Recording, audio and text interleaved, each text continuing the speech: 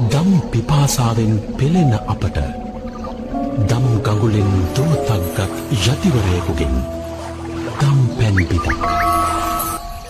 මාලිකාවේ දන්තධාතුන් වහන්සේ බොහෝ දෙනාට වන්දනාමාන කිරීම පිණිස දැක බලා ගැනීම පිණිස එලියට වැඩම කරවන අවස්ථාවන් වල විවිධ වූ ආශාර්යමත් සිද්ධීන් වනවා.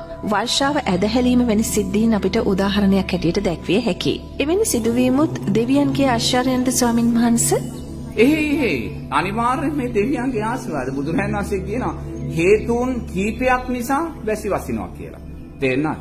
එකක් දෙවියන් කාමච්ඡන්දයන් විදිනකොට වැහි වදිනවා. දෙවියෝ කියන්නේ මේ මේ සෑම බලාකුලකට අධිග්‍රහිත දෙවියන් ඉන්නවා. හොඳද? මේ සෑම බලාකුලටම අධිග්‍රහිත වෙච්ච දෙවියෝ ඉන්නවා. ඒගොල්ලන් කියනවා වැස්ස වලාහක දෙවියෝ කියලා. ඔය යමෙක් වලාකුළු උපාදානය කරගෙන වැස්ස උපාදානය කරගෙන ওই ජීවත් වෙන අය ඉන්නවනේ.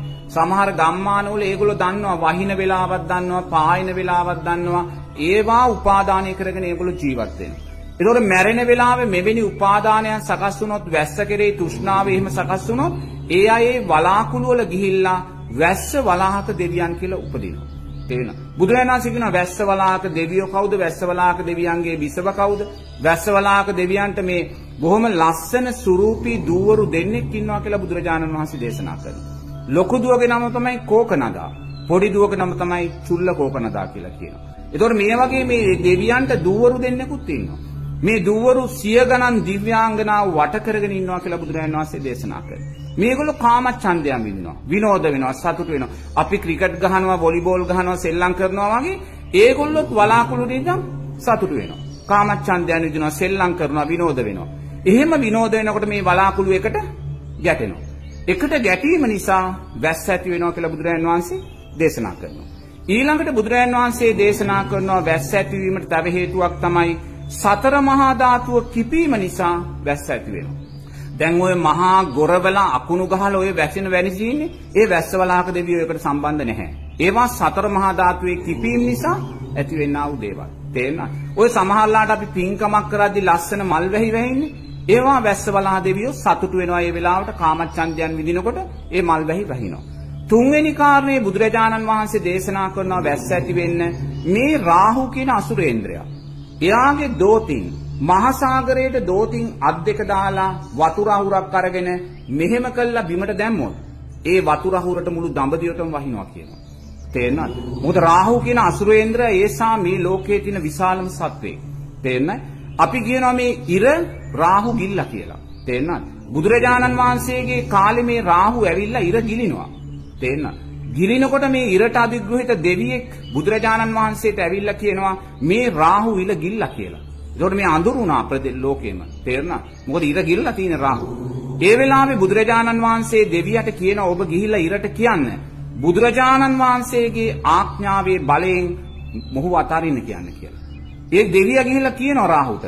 ඒ කියන වෙලාවේ දෙවියා රාහුව අතහැරලා පැනලා යනවා. තේරුණා? ඒ කියන්නේ රාහු කියන්නේ ඒසා විශාල කෙනෙක්.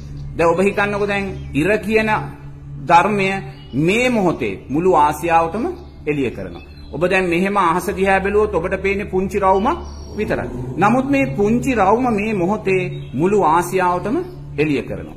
එහෙනම් බලන්න ඒසා ශක්තියක් තියෙන ඉරු රාහු ඇවිල්ලා ගිලිනවා නම් රාහු කොච්චර විශාල කෙනෙක් වෙන්න ඕනේ. රාහු ඉරටත් වඩා ශක්තිමත් කෙනෙක් වෙන්න මේ රාහු එයාගේ ශක්තිමත් විශාල අත් දෙක මහසાગරයට මෙහෙම දහලා වතුර දෝතක් අරන් මෙහෙම කළා එළියට දැම්මොත් ඒ වතුර දෝටට මුළු දඹදිවම වහිනවා කියනවා නෝන. මෙන්න මේ කාරණා තුන නිසා වැස්ස සකස් වෙනවා කියලා බුදුරජාණන් වහන්සේ සසරේ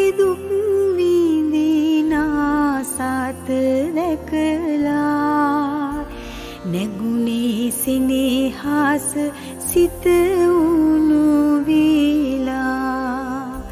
දස පාරමීදම් සසරේ පුරලා.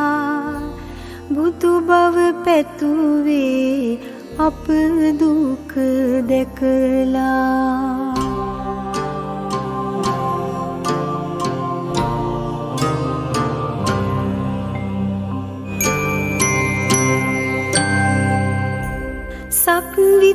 රජකාම නැ නැත මාට වටින. සැම දුක ගෙනෙනා අප සෑම දවන. සසරේ ඇවිදින නවතින ගමන. සොයමින් යනවා අම පාල නිවන